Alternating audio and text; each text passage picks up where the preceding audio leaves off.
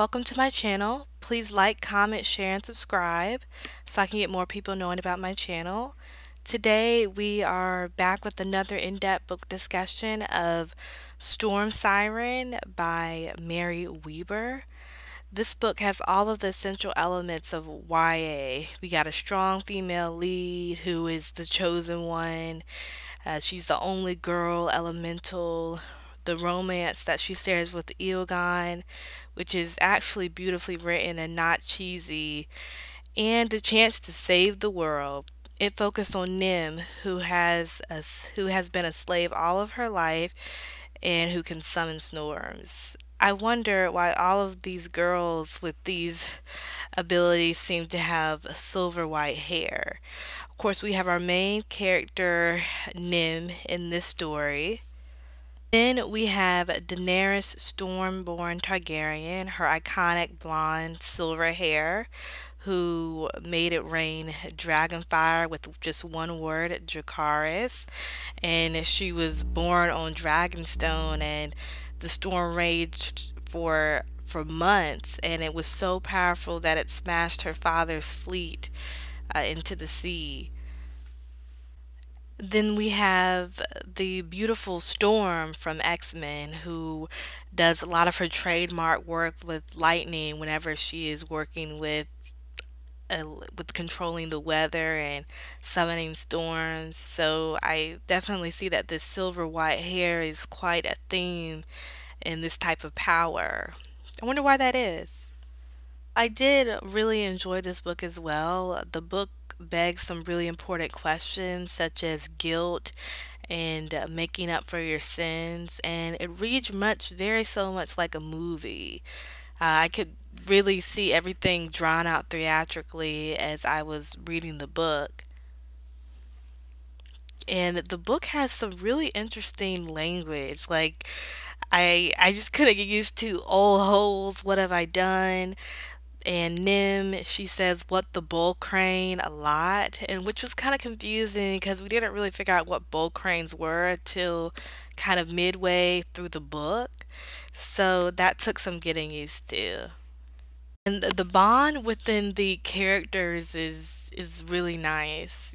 Breck and his sister's Colin relationship and the romance between Eogan and Nym and even some of the flirting that goes on between Colin and Nym uh, I thought was really well written. And you know, you can always feel when people care about you. And I really like on page 241 when it says, after that, I only glance back at Colin and Breck once, and it's because his gaze won't leave me alone. I can feel it. What does he want? When I look, the concern I find written there is caring. It's authentic. It's the same expression I've seen a hundred times on Eogan. Eogan's and Nym's relationship really reminds me a lot of Yoda and Luke's uh, Jedi training. Uh, especially, there's a scene in page 190, one, or 197 where where she she really starts to believe in her power and see how the beauty in it. And it says that that right there is why you can't fully control your ability because you're afraid to believe better about yourself. And and then you know she gives a bunch of excuses of how she's gonna hurt people, and that reminds me of the scene where uh, Yoda and Luke are training the Empire Strikes Back, and Yoda lifts that little tiny spaceship out of the the pond that they're in and Luke is like oh I, I can't believe it. And Yoda is like and that is why you fail because you don't believe. You gotta believe. Main principles that Nym struggles with is feeling like she's a monster instead of recognizing her true worth and all the powers she really does hold. And it's something that everybody kind of utilizes over her, and you could see it uh, on page 29 when she says, Of course, you can make up for the atrocities you've done. You'll have to live with the guilty of horror for the rest of your life, but what, what if there's a way that you could actually live with yourself by spending your life making up for it? And this is a conversation that she's having with Adora and trying to convince her, well, you're going to be a weapon, the greatest weapon that we have in in Faelen's kingdom to overcome this this war. And it talks about her just feeling like cringing at the word weapon. She even says it's synonymous with death. So, because at the very beginning of the book, when Nym's powers are so directly linked to her emotions, she's killed a lot of people. So, it starts with uh, that little redheaded girl at the auction at the beginning of the book. And up until a certain part of the book, she believes that she's killed her mom and dad. And later she finds out that Eogan uh, did it. And she also killed the sons of Owner 9 while drinking. So she really thinks of herself as a curse. So when she starts to realize the beauty of her power, everything really does get a lot easier for Nym and she stops trying to fight it so much. So on page one on page 201 when she says I brace for it, but instead of my power exploding like a thunderstorm, it comes as a gentle tide, a heart surrender, almost painful in its approach, beckoning tears to my eyes as it renders my defenses non existent. And suddenly I can't remember why I ever needed them anyway, because the very power I've spent my life cowering from is at its core pure. So another key moment from the book where Nym really helps get her confidence is on right on page 220 when she's having the conversation with Princess Rasha and she says to her, "You hold the key to your own cage." The spirit in you isn't broken, just unbelieving. But in order to fly, you hold the key to your own page, to your own cage.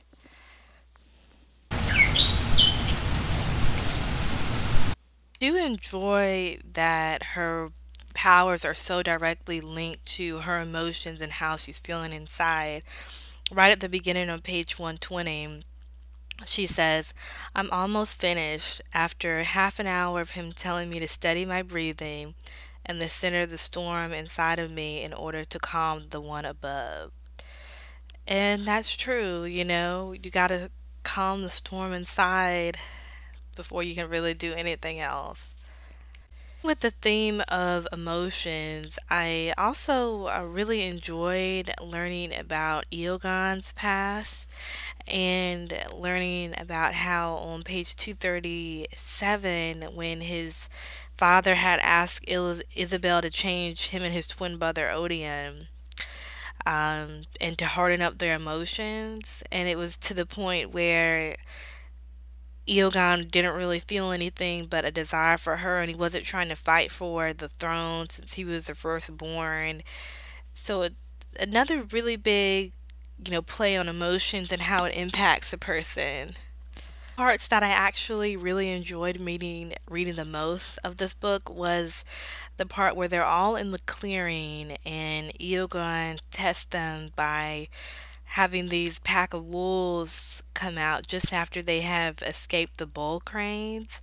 And he's trying to see how far Nym is gonna go and you know if she's gonna kill and and not have to. And, and when she, well after Nym has killed the wolves especially after seeing the damage that she's done through the alpha wolf I really like that she's not just killing because she likes it and that she actually has a heart and that she, you know, has a soul. And um, right on page 172, where it says Eogan is talking about why he he had her do this little test. He says, I tested you because this isn't a game, and like it or not, killing is one aspect of war. If you can't kill an animal, Nym, how do you expect to defend Faelen when lives are at stake? Because you will be killing people.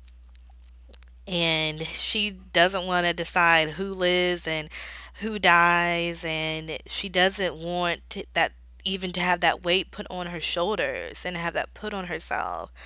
And and since Nym's been a slave all her life and been at the very bottom of the to the totem pole, I really feel like that's had a big impact on her self-esteem. And there's several parts of the book where, you know, she's caught cutting herself and um, putting marks on her arm near where those circles that show that she was a slave.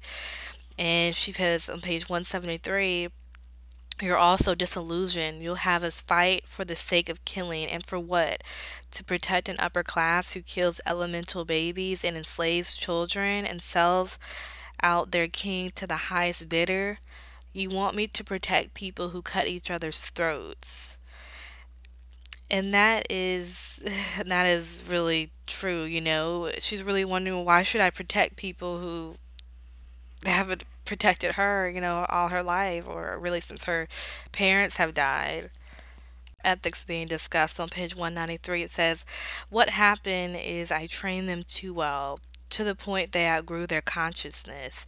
They became assassins, killing when it was faster rather than finding a better way. You heard me say the other day that killing is a part of war, but it's not the only part. It should always be a last resort and that's on page 193 when Nym is again she's she is a character that has a lot of self-pity but with after everything that she has been through it is completely understandable. And he's you know trying to persuade her to believe in herself and view her powers as a gift rather than a curse. And he tells her well you do have control because you didn't kill the entire wolf pack and um, and that's one thing like I, I do really like this character. On the theme of morality, um, she she has this conversation a lot with characters in the book, especially with Colin, um, when they're when she's asking him about um, you know, destiny and do you believe that we're supposed to believe deliverance to Faelen and Colin goes at the top page 272 I think some have to fight harder to choose good or evil because the evil's got it out for them. And maybe it's because those are the ones evil knows will become the strongest warriors recognizing true wickedness when it rears its head growth throughout the story is nice to see as well. I remember at the very beginning of the book when she could barely stand to Adora and say what she's thinking, to right at the very uh, page on 283 when she's having a conversation with the king and she goes, Even if I could, you're asking an elemental girl or elemental slave to rescue the people whose laws would see her dead, your majesty. And and she's and she really stands up for her and says I, you need to fight for all your people or else you're not gonna like what you're gonna receive from me. So she's really standing up for what she believes in. Very sad at the end when colin died. I wasn't expecting him to die so soon and that he really wanted her to you know continuing to you know have the legacy and protecting the people and to give the slaves and the lower people a better a better life. And ending is exactly like a movie. She thinks she's got her beloved Eogan but really uh, the Draewulf has taken his form, and we're sucked in for the very next sequel, trying to figure out uh, what is going um, what is going to happen with Eogan in the next one. But overall, a really nice, enjoyable read. Uh, let me guys, let me know what you guys thought in the comments. Um, thank you for watching.